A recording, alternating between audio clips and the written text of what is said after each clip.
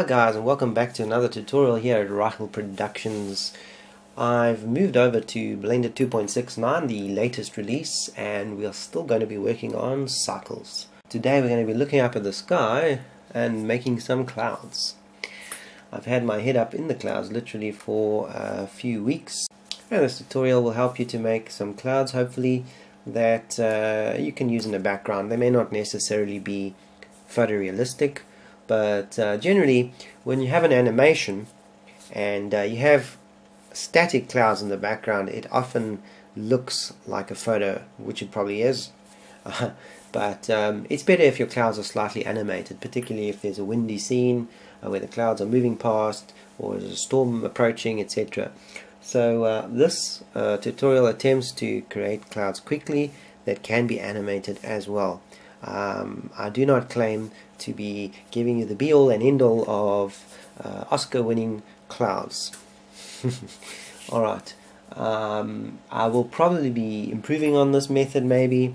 Uh, there are other ways to do it um, which can be improved on. Uh, but let's just give this a shot. Alright, I'm going to get rid of this lamp here.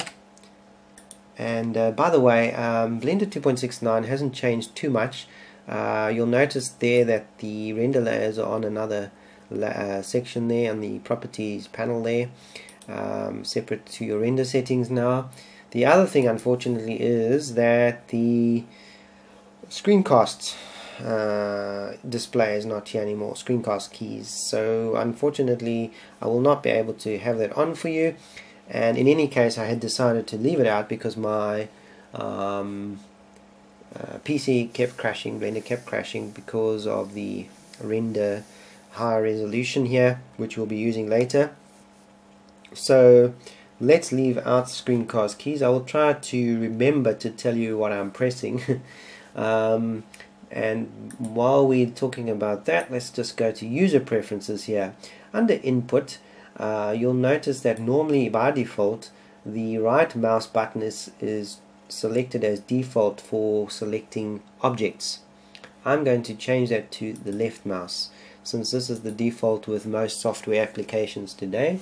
So let's click with our left mouse on the cube. We're going to delete that and I'm going to go also sorry to display here and getting rid of the grid floor. I'm not too happy with having that. There's no need for it.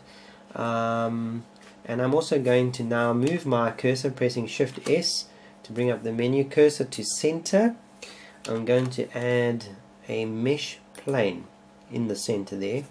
And to bring my camera to the top where I am looking now I'm going to press Control Alt and 0 one of my favorite shortcuts. Okay uh, what I'm also going to do is bring the camera to 44 on the Z axis so it's a little higher up. And I'm going to I'm going to set the focal length now to 24 our plane is there and um, you're asking now what are we going to be doing with this plane? Well this plane is actually the clouds. This is the object that we're going to be using believe it or not to create all the clouds okay? Uh, and you're going to ask how is that possible? Well we are going into the modifier. Now properties panel here. And we're going to shop for something that's going to modify that plane. And since clouds are water, water vapor and waves are water as well why not use the ocean simulator? You guessed it. Right. Now the ocean simulator creates a plane that is modified with ridges obviously crests and troughs as a wave would have. And um, we are going to make some settings.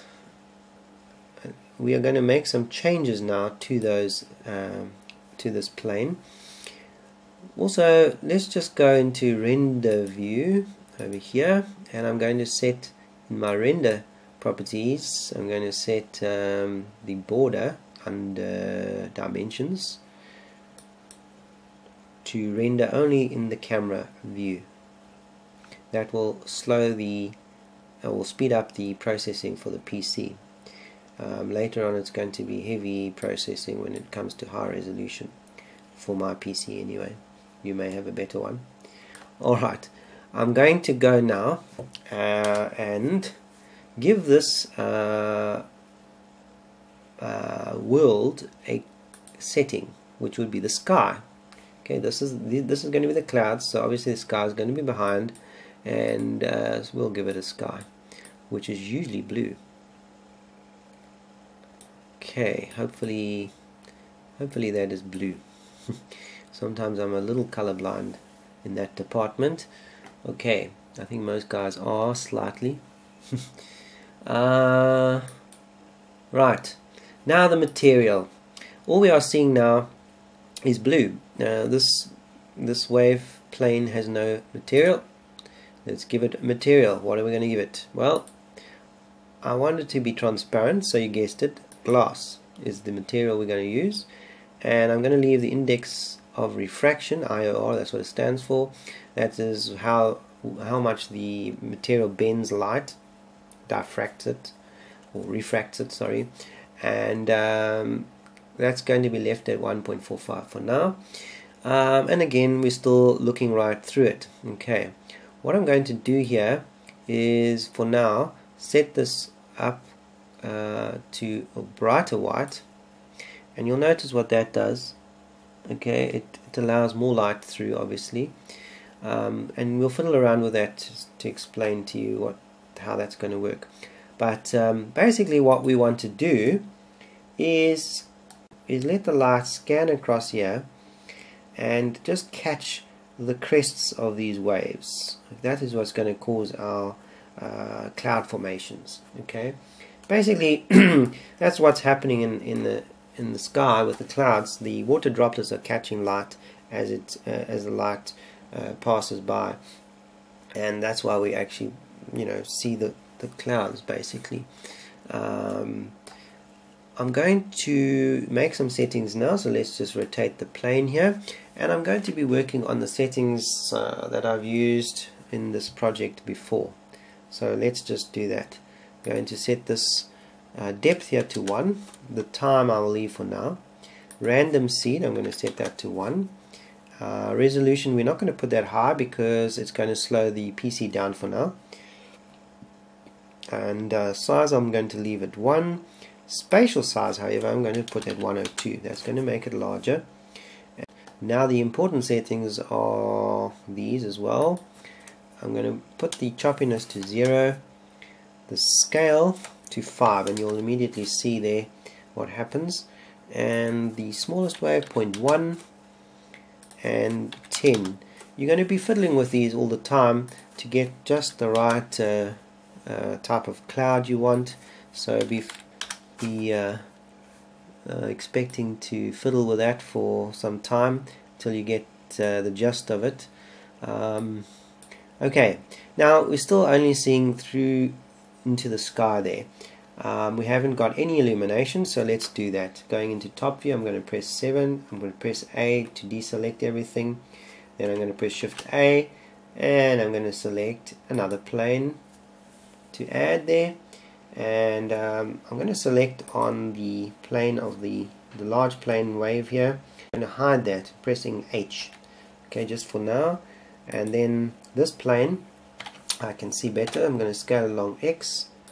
I'm going to rotate it around the X axis by pressing R and X and then 90 for the angle.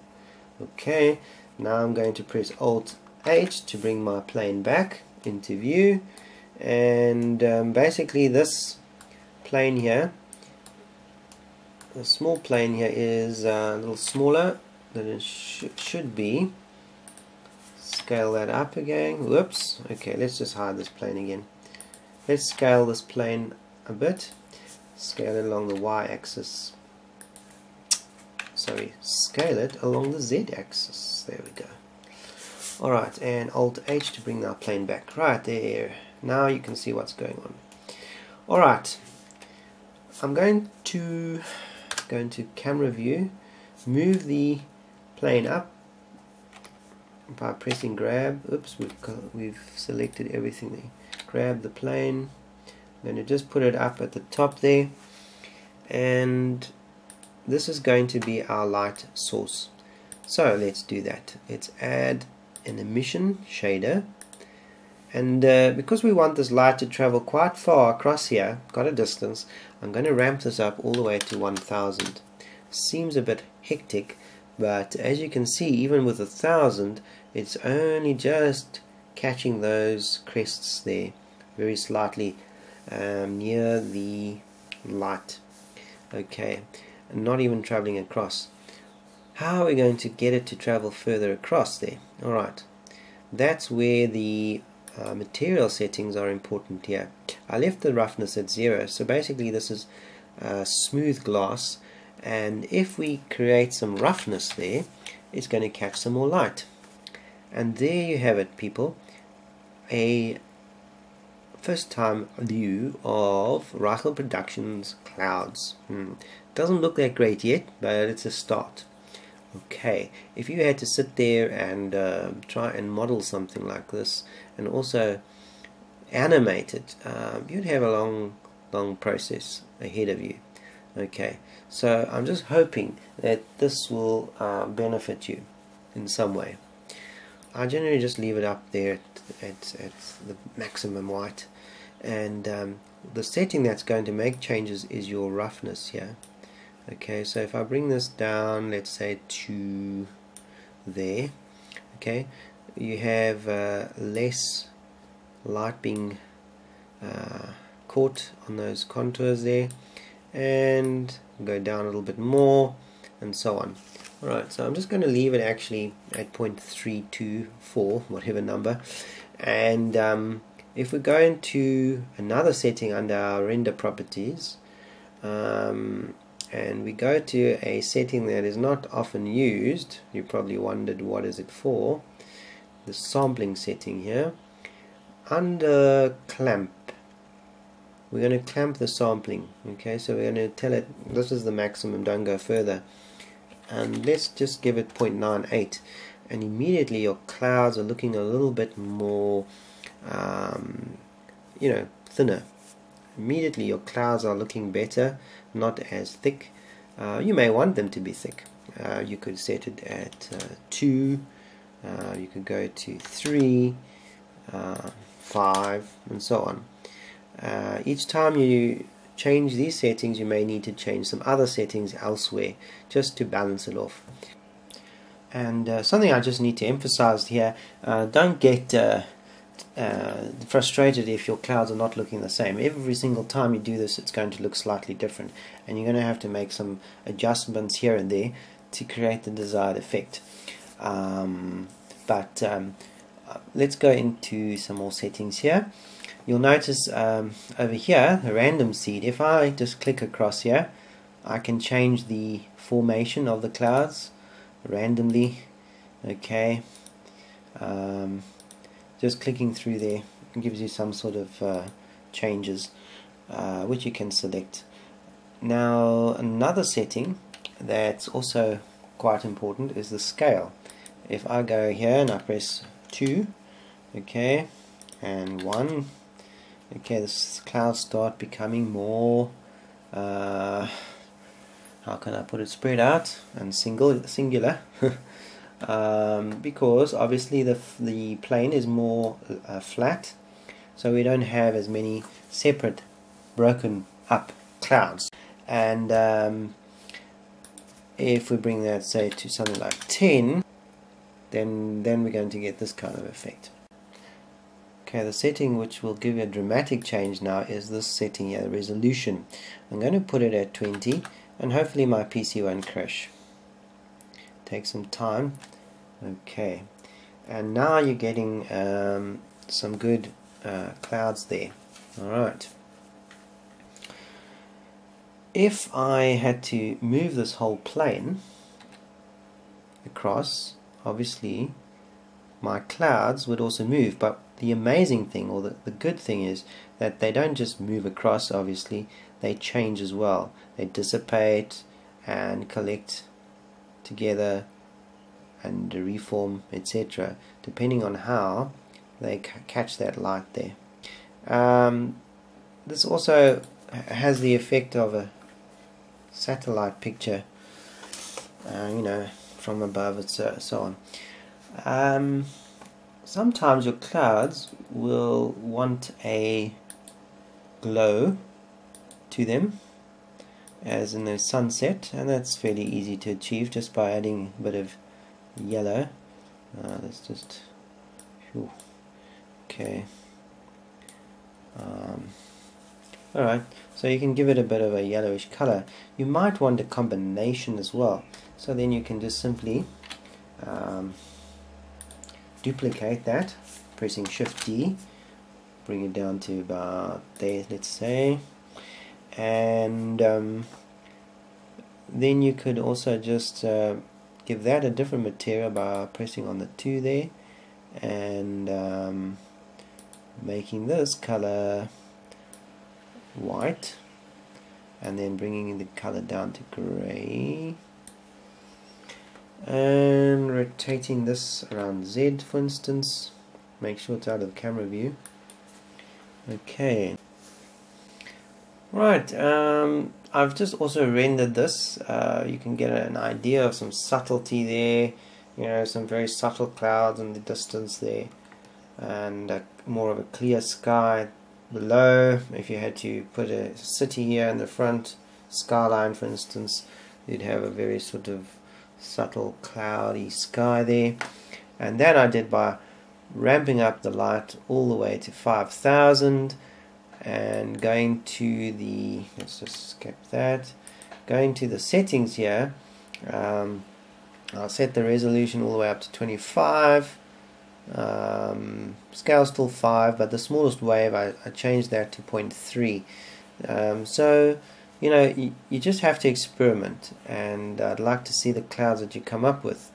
Um, I'm going to put an animation on now where you will be able to see some of the cloud formations there. Uh, it needs practice, it needs some work, but it was just a quick um, render, a few hundred samples, um, just to give you an idea of what's possible. And um, I think that's about it. I don't want to ramble on too long um, with this tutorial. It's uh, just more of an experimental uh, phase and um, with a bit of uh, compositing and other things we can probably do better. Alright guys, and uh, let me know what you think of this tutorial. If you have any ideas, suggestions, comments, and uh, you can uh, subscribe and share these tutorials as always thank you